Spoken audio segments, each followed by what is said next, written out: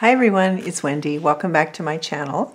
Uh, and today I'm going to make an envelope flip, but I'm going to use the Tim Holtz wallpaper as the background uh, for it instead of like a tag base or that sort of thing. I mean, technically these will become sort of like a tag base.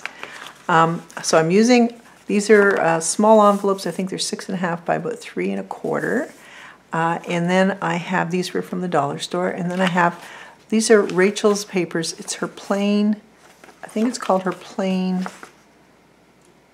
papers or plain, it's not backgrounds. These, these are from her tall, uh, she has a couple of kits that are for the taller journals.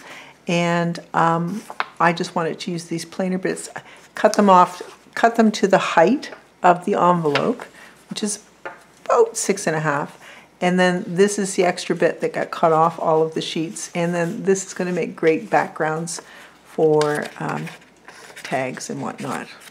Or I may use them for something else, but they will get used. So I have a number of these, um, and you can see where this got, whoop, this was, I think off the top. There you go, right off there. That's where that one came off. Okay, so I am going to uh, choose the um, Tim Holtz paper. I actually think these two would look great with this one, and I think this blue one would look fantastic with that blue background. So we'll start there. We'll do two, and if we have time, we'll do a little bit more as well. So I know these are five inches wide. I don't want them that wide uh, because uh, not all of the journals I make are that wide. I do know that this is like three and a quarter, so I do want to see a little bit on the side. So I'm going to cut these two four inches wide. Save these. These are great for putting on the side of a piece of um, piece of paper in a journal if you want to uh, firm up a page. And just looking at, so I'm going to take, I'm just eyeballing it, I'm to just take this amount off. It's not quite an inch, about three quarters of an inch. Save those as well. So we'll just set this aside for now. I think the other thing I might want to do is I might want to just corner round. I've got two of them in here together. This is a quarter of an inch, quarter round, like so. Okay. Perfect.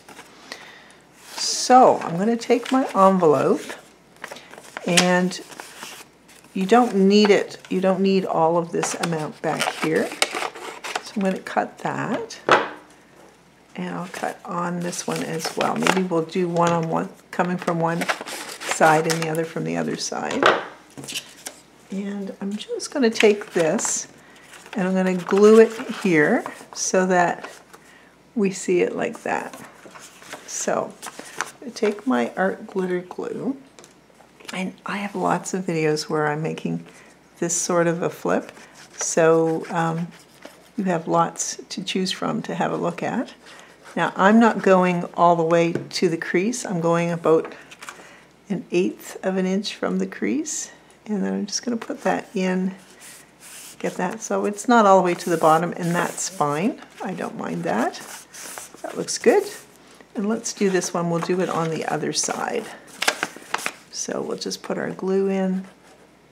Just like I always say, there's no wrong way to do these. I think the wrong way maybe if you're not enjoying yourself. But if you're enjoying yourself, then it's the right way to do it.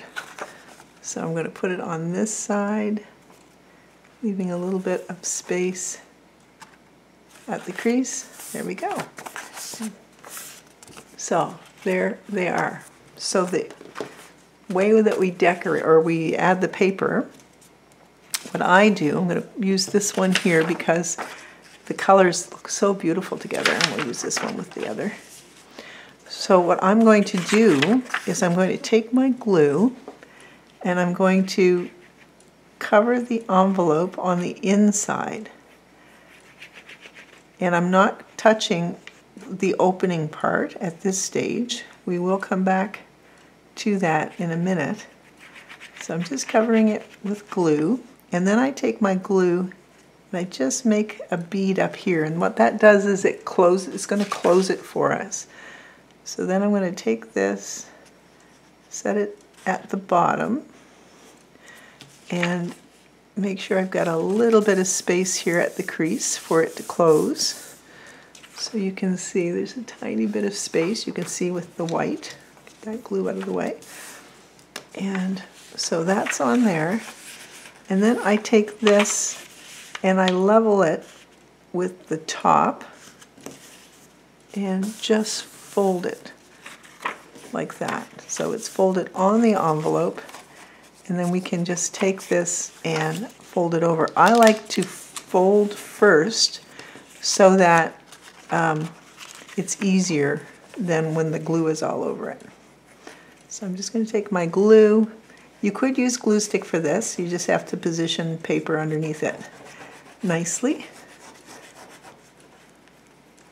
So I'm just going to get that on there. I say position glue nicely, and look what I've done. I've put glue on the table. It's all good. it is all good. And then I'm just going to take this and put some glue here. Like so. Excellent. So now we've got our envelope covered. This would go on a page as like a tuck spot. I'll show you that in a minute on a journal, but for now, let's just let's just um, cover the second one. So once again, I'm going to take my glue, and I'm going to cover the envelope but not the opening, this part here, we're not going to cover it. And I'm going to get my glue all over like that and then we're just going to run a bead of glue down here. That's where we create our new pocket. Oh, okay. Great. I had it sideways, but that's all right. And I'm just going to set this here, leaving a bit of space in between, right here. Oops. Okay, I'm going to flip it over. I'm going to take it and fold it like so. There's that blue paper, so pretty. And then I'm just going to turn it over like this. Now, if you don't have Tim Holtz wallpaper, I'm just trying to use up my stash. I have a bunch of it, and I've had it for a couple of years. Oh, don't do it there first. Do it here. So I've had it for a couple of years. Well, some of it I've had for several years since it came out. Um, and I just haven't been using it very much. And I'm like, well, you know what? Let's get using it. It's there to use. So I'm going to do that. And then I'm going to reapply this glue just in case it's dried a little bit. And we're going to go over it like that. How are we for time? We're good. Okay. I love that. It just is so pretty. Oh my goodness. Um, so the next bit is that you can choose where you want your opening. I generally put it at the top. You could easily have your opening on the side if you want it uh, for a card to go in or at the top. Maybe we'll do this one at the side. Let me get my cutter just so that I know I'm going to be straight.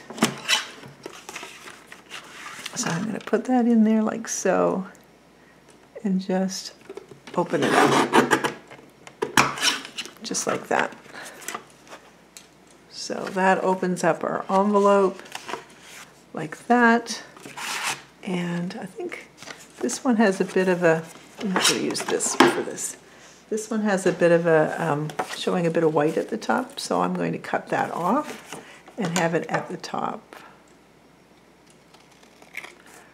So take it just to the crease and I just go up on a very slight little angle there. I don't know if you can see that, just a slight little angle.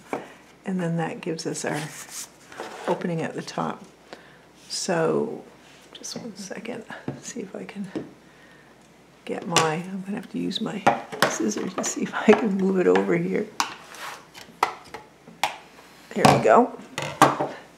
So I'm going to get my um, punch, and this is a tab punch, but it's great for also making a little divot at the top, and then we'll do a little divot here on the side. On that one. And it really just depends on where you opened it. Let's see, do I still have, I might have some, I do have some of the Tracy Fox uh, wallpaper um, cards that I've put on cardstock. This is a digital of hers. And you could put this in here, like that. And we don't want to go with all blue, do we? We pick out one that would go beautifully, but I'm going to pick out the yellow one for the top of this to go in here. Let's see, will it, it will. So that would go up there. So we have our tags, we have our flip, um, and we might as well just take some time and decorate them. I think that would be a fun thing to do. So, how they would work on a page, let me grab my journal. So, I would set it on a page like so, and I would glue it possibly on these three sides and then have something tuck in from the back, or three and from the top, or just on two sides and have it as a general tuck. So there would be that one. This one I would put on this side because of the way it opens, um, like that. And I would do the same. I would probably just do two sides and have it as a tuck. Uh, but you could do three sides and then have something come in from the side or from the top. So that's how they are meant to work. Um, and then the question is, do I want to put, I could put a tuck spot in behind too on here.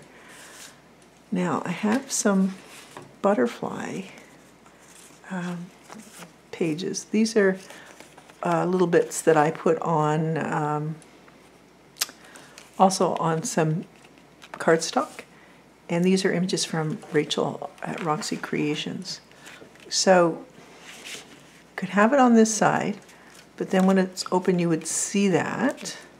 We want it there or do we want it here so that no, I think I will put it on the corner, but I am going to, are these the same size?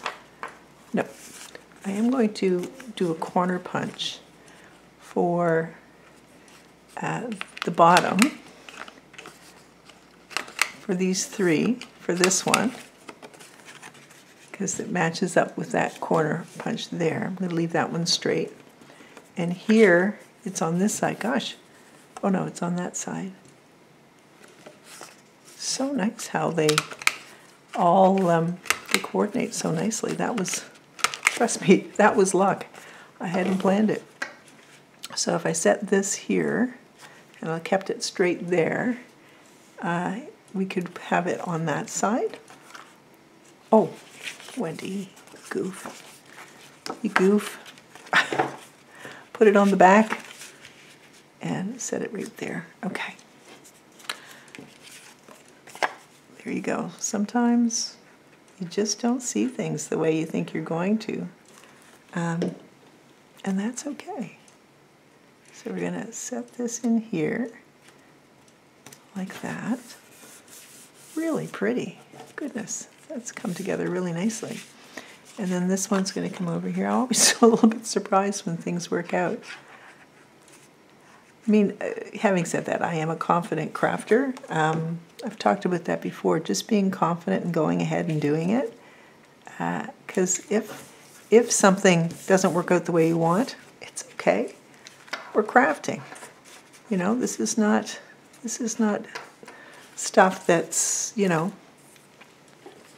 um, that's going to cause someone stress or whatever. So I'm going to put this tab here on that tag so that we can see where it's meant to go.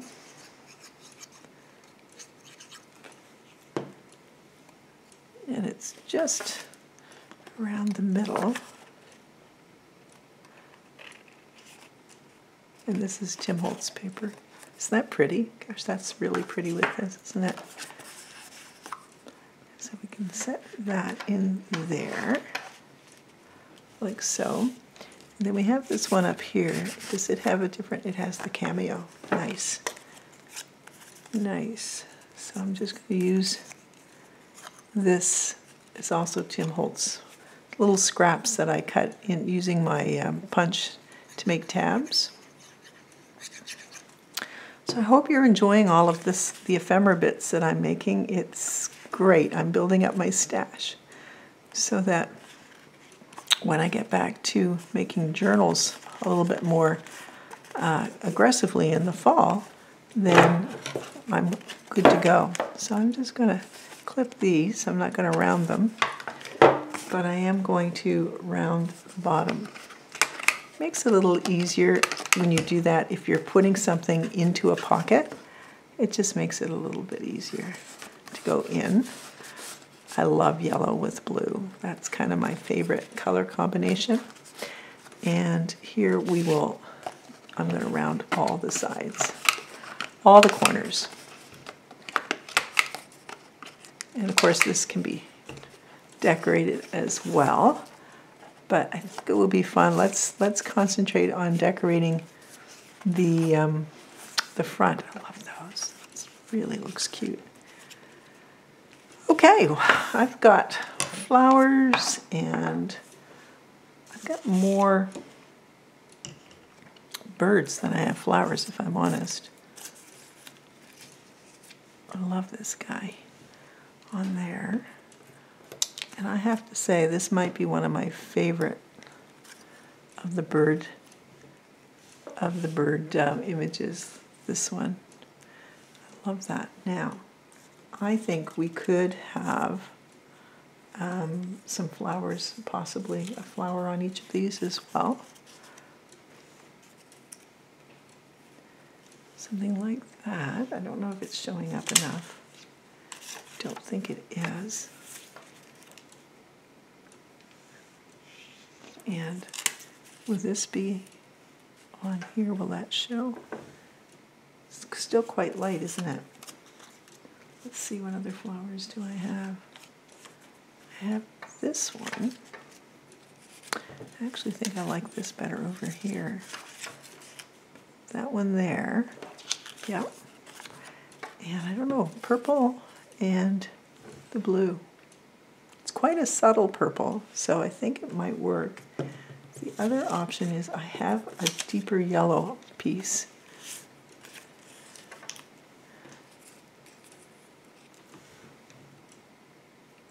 I think I like the purple better, so I'm going to stick with that. Stick with the purple. All right, so I'm going to put this down. I'm not putting any um, papers behind, like any um, ledger paper or old book paper because the imagery in behind is so beautiful and it's so subtle uh, that I don't think it really needs it. So it's really whatever speaks to you.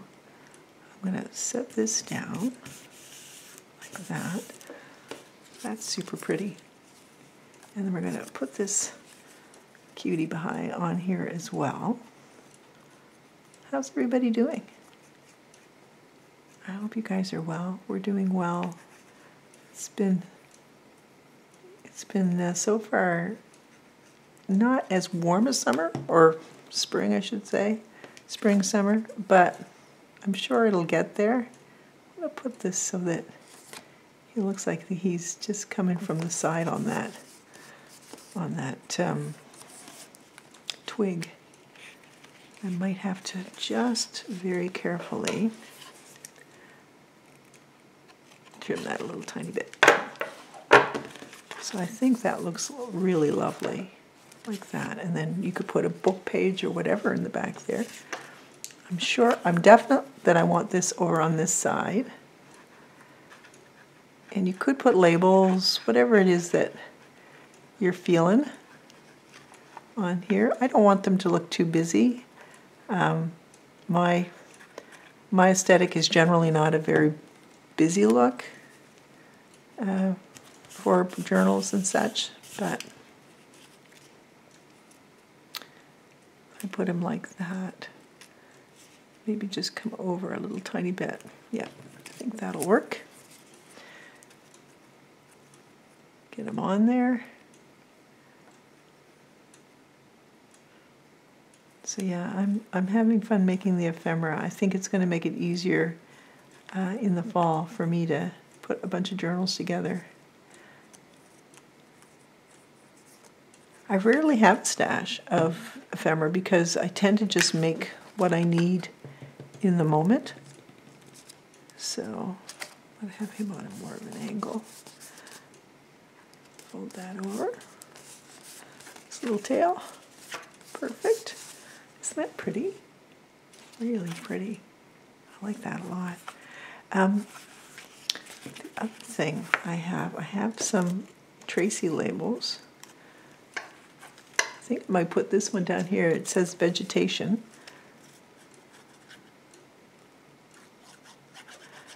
Just add it, just to add a little, a little more interest. You can't go wrong with a label. That's what I think. I know it's not everybody's taste, but I quite like it. Like that. Um, and this one, do we want? Okay, yeah, we have a, I think I'll put this up here. It says grass.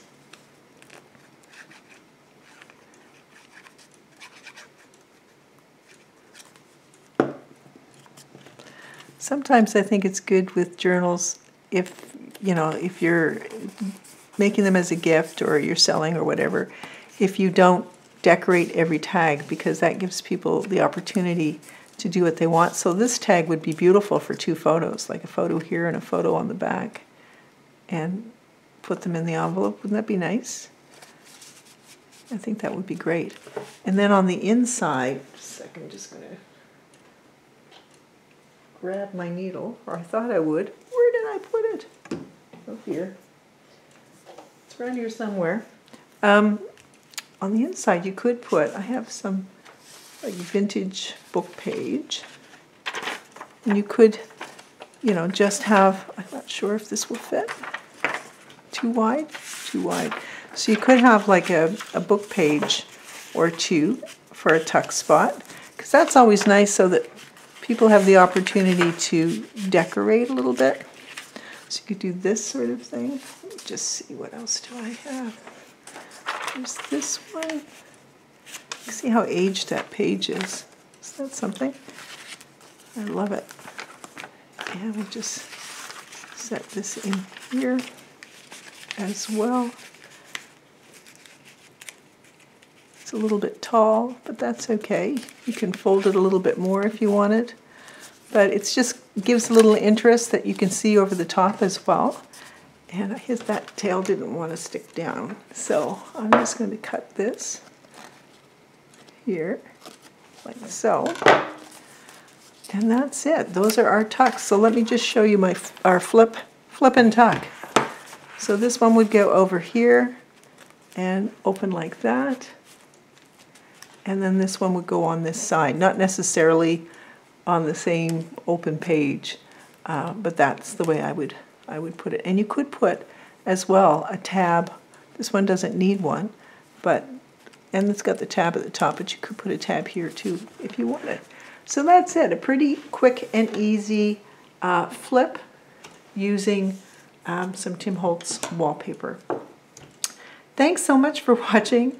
Um, I hope you are all doing well. I hope you're enjoying some good weather and staying safe. And I look forward to seeing you next time. Take care, everyone. Bye.